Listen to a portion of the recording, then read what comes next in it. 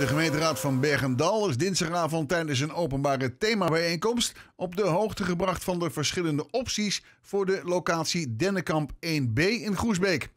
Daar staat de voormalige kippenfarm van Van Deursen. Er werden zes ideeën gepresenteerd, drie daarvan waren al bekend. Buiten de melkfabriek, een kippenbedrijf en de bouwlocatie voor praalwagens kwamen er drie nieuwe alternatieven: woningbouw van Big Barn, sport van Sportspot en voedsel van Food Village. De financiële, maatschappelijke en bestuurlijke haalbaarheid moeten nog worden onderzocht. Dat zal gebeuren als blijkt dat voor één van de alternatieven draagvlak is.